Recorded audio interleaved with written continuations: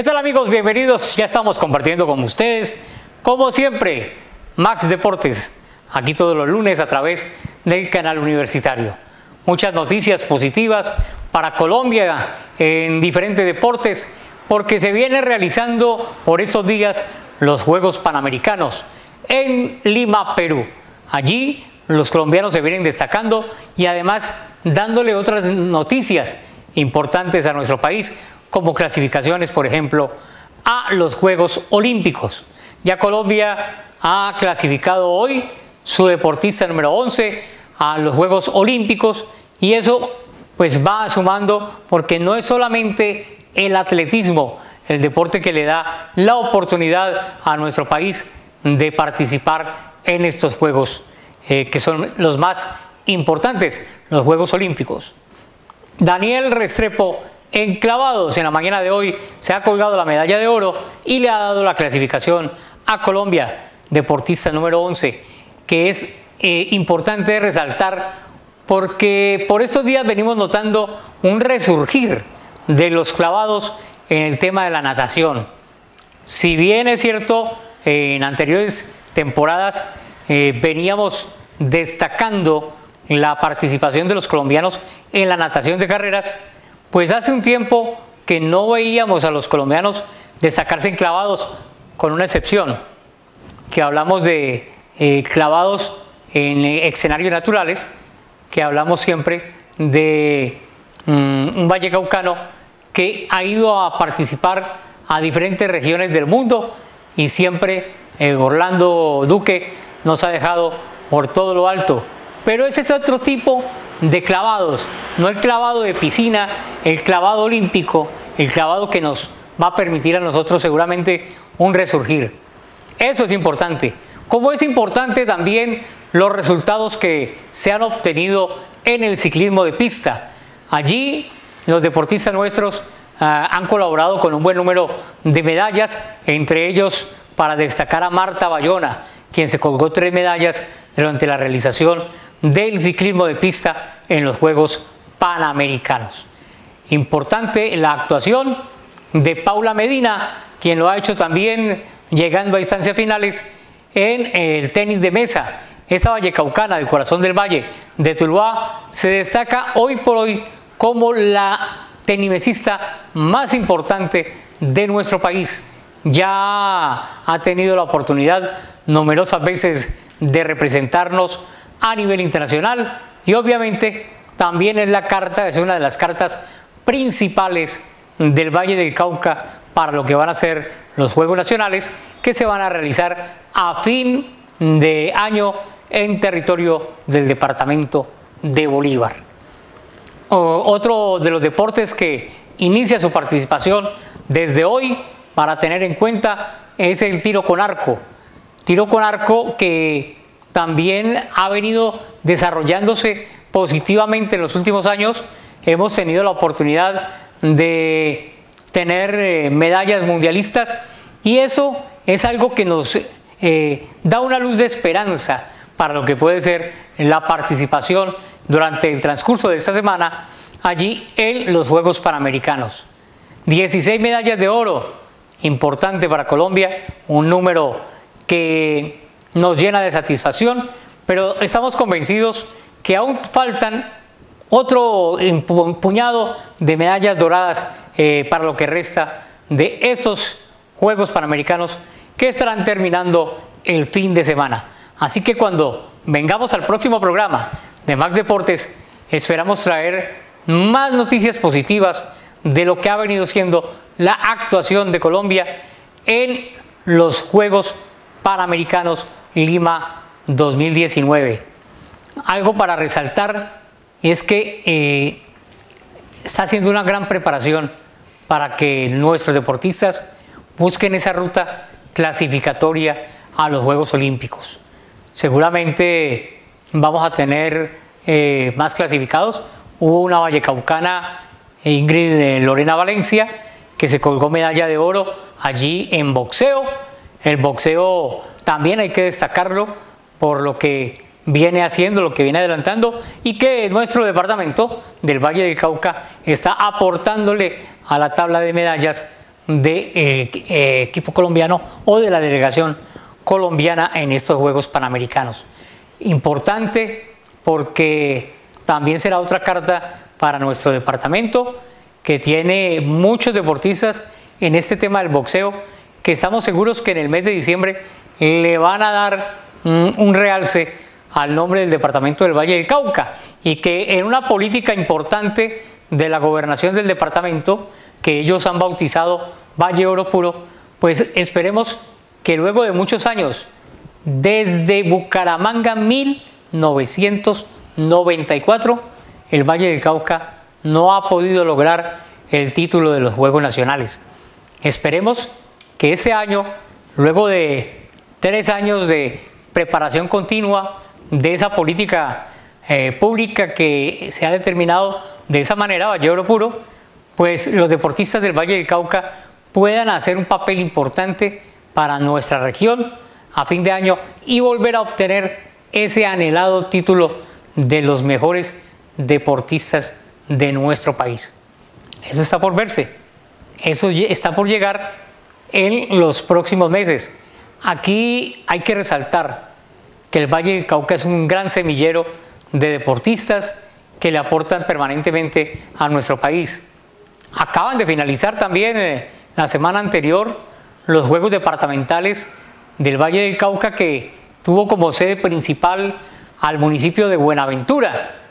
Pero no solamente Buenaventura, sino que Palmira, que Tuluá, que Yumbo tuvieron eh, eh, participación por sus muy buenos escenarios deportivos. En estos Juegos Departamentales, una vez más, Santiago de Cali se ha coronado campeón a nivel regional de estos Juegos Departamentales. Solamente Palmira en un par de ocasiones ha podido destronar a la capital vallecaucana de los Juegos Departamentales. Este año estuvieron cerca, pero ya en los últimos ocho días Cali despega y dejó regado al municipio de Palmira. Obviamente que Cali tiene los escenarios, Cali cuenta con las ligas, Cali cuenta con muy buenos deportistas y eso hace que mm, la preparación para nuestros deportistas de, de Cali pues sea mucho mejor. Pero se encuentran nuevos valores en diferentes disciplinas deportivas en los demás municipios del Valle del Cauca.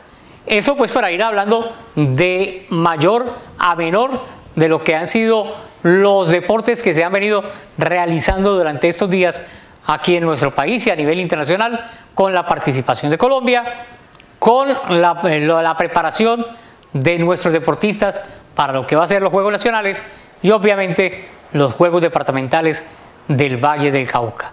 Vamos a estos mensajes y ya regresamos con más aquí en Max Deportes.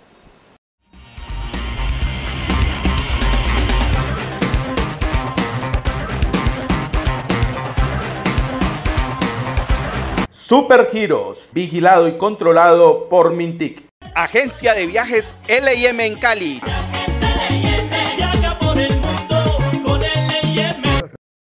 Arepería Doña Aleja, ven disfruta del sabor de las más ricas arepas, deliciosas hechas con amor. Disfrútala solo en familia, con amigos lo mejor. Arepería Doña Aleja, rellenas de sabor, tradicional y exquisita. Arepería Doña Aleja.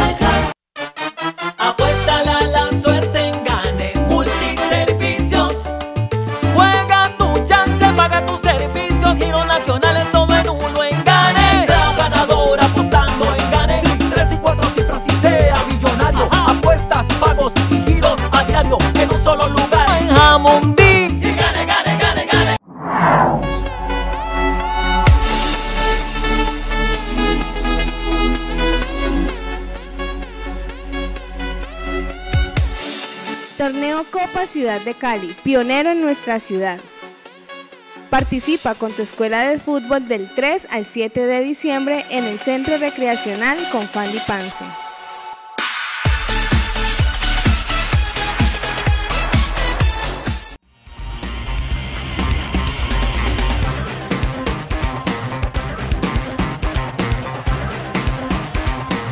Muy bien, continuamos en Max Deportes aquí a través del canal universitario, como todos los lunes. Nuestro director continúa de vacaciones. Esperemos que le esté pasando bien sabroso. Y nosotros aquí trabajando, cumpliendo con ustedes con la información deportiva que es importante. Bueno, eh, hay que destacar también otros deportes y otras noticias que se producen. Por ejemplo, eh, acaba de terminar el Campeonato Mundial de Rugby Subacuático. Colombia, por primera vez en la historia, se corona campeona de estos Juegos que hace dos, tres años se realizaron precisamente aquí en Santiago de Cali. Eh, una organización importante, una realización importante y pues esa continuidad luego del Campeonato Mundial, ya con escenarios adecuados para su práctica, para su entrenamiento, pues ha permitido que ahora lleguemos a ser la nueva potencia del rugby subacuático, donde eh, nuestro país se ha destacado en la realización del campeonato mundial. Por otro lado, y cambiando de frente, Mateus Uribe, jugador que hace parte de la selección Colombia de mayores, ha salido del fútbol mexicano, ha llegado por fin y es uno de sus sueños al fútbol europeo y ahora lo va a hacer eh, muy bien en el Porto, en Portugal, donde ya ha tenido la oportunidad de trasegar más de un futbolista colombiano. Por allí pasó, entre otros, Falcao eh, García y siempre los deportistas de nuestro país, los futbolistas, colombianos en el Porto han dejado una muy buena imagen, una grata presentación y es el momento para que se destaque Mateus Uribe. Eso es eh, importante porque se cumple el sueño del futbolista y es algo que deberían hacer todos los futbolistas, tener su mente y su meta fija eh, en grandes logros. Saber que obviamente las condiciones le van a permitir llegar hasta allá. Muchos salen de aquí a el fútbol de diferentes lugares, pero siempre pensando en algún día recalar allá en el, fútbol europeo, donde pues van a ganar más, donde se van a forjar como figuras, donde van a tener la oportunidad de mm, mostrar de qué se han hecho como futbolistas. Bien por Mateus Uribe, bien por el fútbol de Colombia a nivel internacional. Y cambiando de frente de nuevo, nos vamos a meter en el fútbol colombiano. Tenemos que hablar de lo nuestro, tenemos que hablar de lo felices que estamos los vallecaucanos, porque tenemos a los dos equipos de Cali en los primeros lugares de la liga. Sí, señores, no estoy hablando paja, no es un sueño, no es una mentira. Cali es líder del campeonato América es el segundo y allí están colocándose en los sitiales que en muchas épocas atrás, muchos años atrás, siempre estuvieron tanto Deportivo Cali como América. Ya el cuadro verde y blanco ha venido como líder desde la segunda fecha y es importante para los dirigidos por Lucas Pusineri mm, sostener un buen nivel de fútbol, un buen nivel de juego que al mismo tiempo le permitan, como decíamos en el programa anterior, ir haciendo ahorros para su clasificación a la fiesta de fin de año. Y esos ahorros se logran con estos eh, eh, triunfos que a, los equipos no tan grandes todavía, porque tiene que llegar el momento en que enfrente a un Nacional, en que enfrente a un Millonarios, en que enfrente a un Junior, como ya lo hizo América, a donde va a enfrentar a los equipos que lo van a poner seguramente en calzas prietas. Pero por ahora está haciendo bien las cosas el Cali. Han entendido el esquema, han entendido la disciplina del profesor Lucas Pusineri, los muchachos, para poner su fútbol en la cancha. Y solamente tienen dos goles en contra. Y un buen número que pues le permite mantenerse con los mismos puntos del América, 10 puntos cada uno, pero en la primera posición por diferencia de gol. Para destacar que Deportivo Cali no es dinero dependiente, porque podríamos decir, no es que el único que hace goles en el cuadro verde y blanco es Juan Ignacio Dinero. No, él hace su aporte, lo que tiene que hacer, para lo que se lo trajo. y para lo cual ha llegado ya a una cifra que no es despreciable. 17 anotaciones y todavía hay campeonato por delante. 17 anotaciones en 29 partidos de lo que va corrido de todo el año. Eso es lo que ha hecho eh, hoy Juan Ignacio Dinero como goleador del cuadro Deportivo Cali. Un jugador del cuadro verde y blanco nos dice Jovel, el hombre de las estadísticas, no convertía 17 goles en un campeonato desde Harold Preciado en el año 2015. Ese año Deportivo Cali fue campeón. Pues esperemos que esta historia se siga construyendo. Estamos seguros de que dinero va a pasar por ahí y va a seguir de largo. ¿Y cuándo será que volvemos a tener un goleador de aquellas épocas como el negro Miguel Osvaldo González que marcaba 30, 35 goles por temporada? Bueno, eso es un, no sé si es soñar o es desear mucho, pero es importante resaltar, destacar lo que hace Juan Ignacio Dineno como goleador del cuadro Deportivo Cali. Pero decíamos que el Deportivo Cali no es dinero dependiente. No, Deportivo Cali es un equipo que tiene la oportunidad con jugadores como Matías Cabrera, el uruguayo, que convirtió un tremendo gol este fin de semana, o como lo ha hecho en otras ocasiones Cristian Rivera, donde desde larga distancia ha convertido, o cerca del área también lo hace llegando de buena manera, o donde aparece un Faber Mercado. No hay en este momento punto de comparación con el Deportivo Cali del primer semestre. Allí el Calisco en parte las cosas bien, al final de año, eh, de temporada mejor, no lo fue tanto, pero por ahora Deportivo Cali viene haciendo las cosas como están programadas por el profesor Lucas Pusineri y lo que no nos gusta es la forma en que alguna parte de la hinchada trata al equipo, aún siendo líder, aún ganando. No es concebible que se vayan al estadio a gritarle improperios, a insultar de una manera u otra al profesor Lucas Pusineri. ¿Pero por qué lo hacen? No lo entendemos.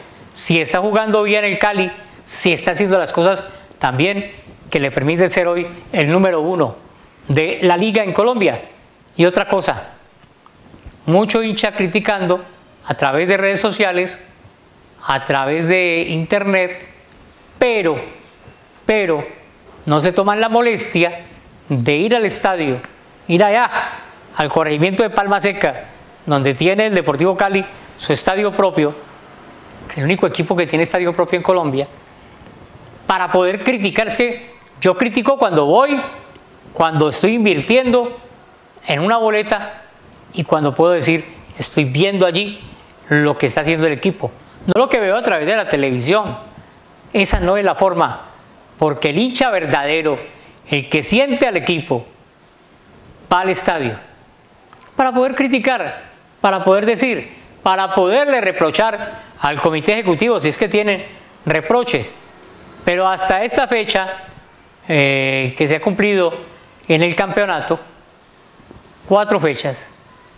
El comité ejecutivo, así no les guste a mucho, a mucha gente, se está saliendo con las suyas. ¿Por qué? Porque se la jugó con la cantera, se la jugó con lo que tiene. No, no, por situaciones económicas no se ha podido traer más jugadores.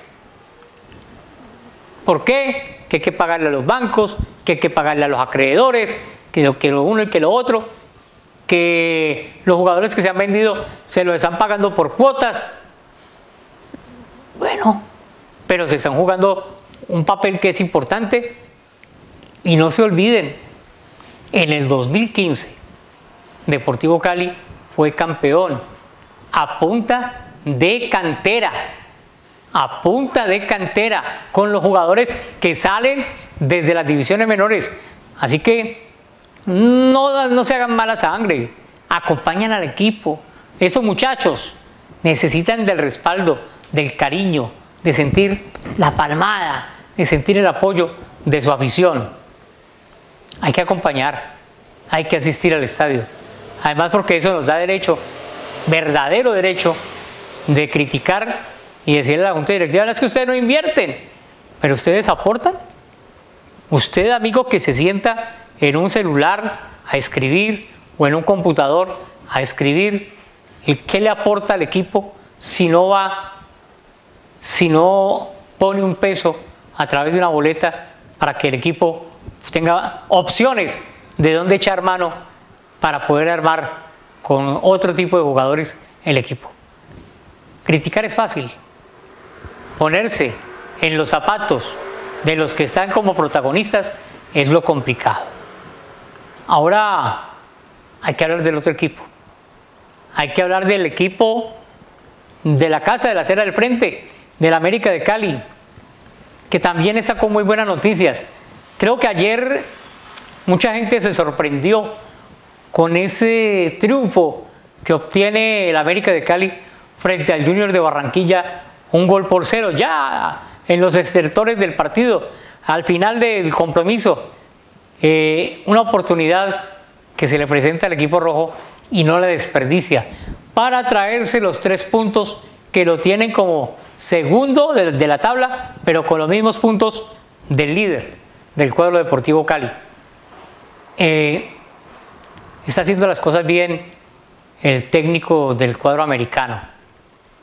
Creo que con los refuerzos que ya llegaron, que ya se pusieron el uniforme, que ya están haciendo parte del equipo titular, las cosas van a ser muy diferentes para la América.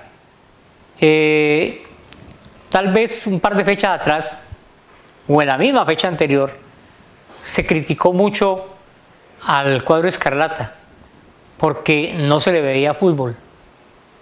Aún así no perdió. América de Cali estuvo a punto de perder, pero no, había perdido. Y eso es algo que es importante para el cuadro local, para el cuadro que eh, tiene la oportunidad de hacer las cosas bien y que este sí tiene el respaldo de su afición, porque los hinchas de América de Cali son fieles y son leales y siempre los ve uno en el Estadio Olímpico Pascual Guerrero acompañando, apoyando al cuadro Escarlata. Muy bien la contratación de Pisano, ese chiquitín va a dar mucho de qué, hablar en el cuadro Escarlata. Pónganle ojo, nos recuerda mucho a Anthony el Pitufo de Ávila, aunque sus posiciones son diferentes. Eh, Pitufo Ávila era delantero, Matías Pisano es volante, tienen cierta similitud en sus características de juego. Y eso va a ser algo muy positivo para el cuadro Escarlata porque va a tener la oportunidad de llegar muchas veces a área y también de habilitar a sus compañeros. Bien lo de Duan mm, Vergara, así se haya ido expulsado ayer y dejar a su equipo durante algo más de 50 minutos con 10 hombres, lo que valora más aún, lo que resalta más aún, lo que fue la victoria del cuadro Escarlata el día inmediatamente anterior en Barranquilla, en condición de visitante. Es importante eso, es importante eh, el fútbol que aunque no está concretando, le da movilidad en su zona de ataque Michael Rangel. La perseverancia, la constante buena actuación de Carlos Sierra.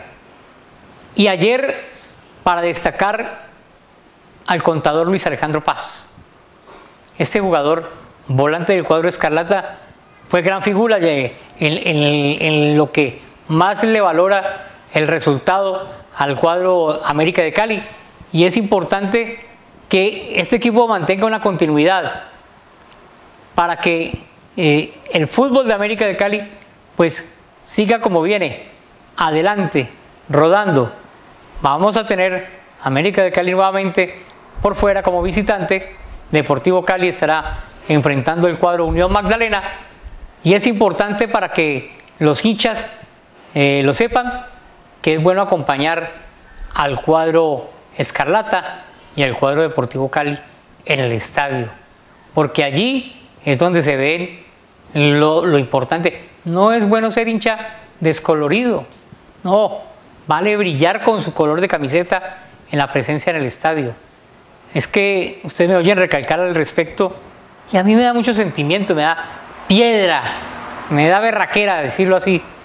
eh, la actitud de estos hinchas que deberían aportar más, criticar menos, porque en el apoyo y el respaldo es donde se conoce al verdadero hincha.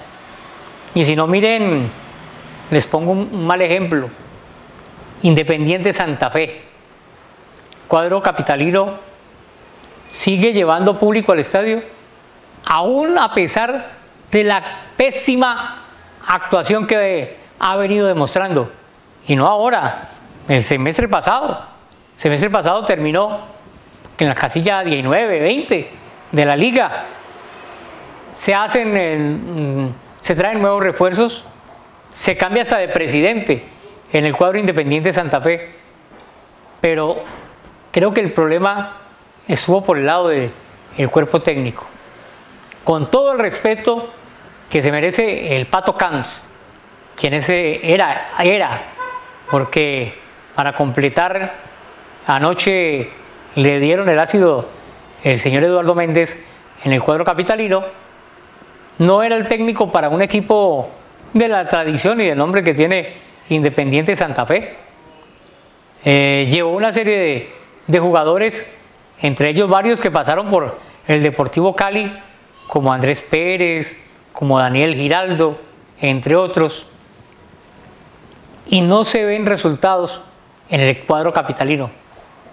Para mí el Pato Camps, asistente técnico de José Néstor Peckerman en Selección Colombia, mm, no estaba para asumir la titularidad técnica de un equipo como Independiente Santa Fe.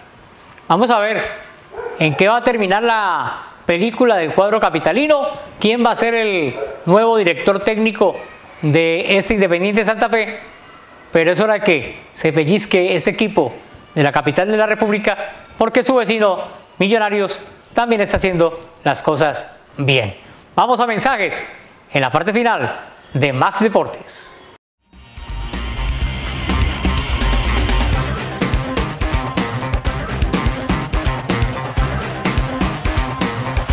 Super Giros, vigilado y controlado por Mintic.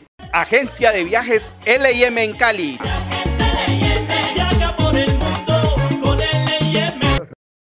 Arepería Doña Aleja, ven disfruta del sabor de las más ricas arepas, deliciosas hechas con amor. Disfrútalas solo en familia, con amigos lo mejor. Arepería Doña Aleja, tan rellenas de sabor, tradicional y exquisita. Arepería Doña Aleja.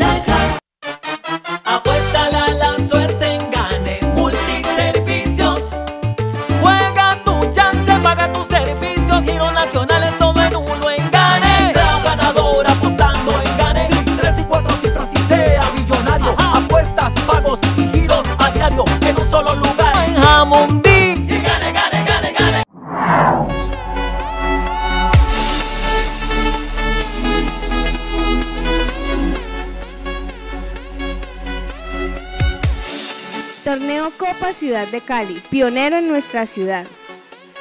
Participa con tu escuela de fútbol del 3 al 7 de diciembre en el Centro Recreacional con Fandy Pance.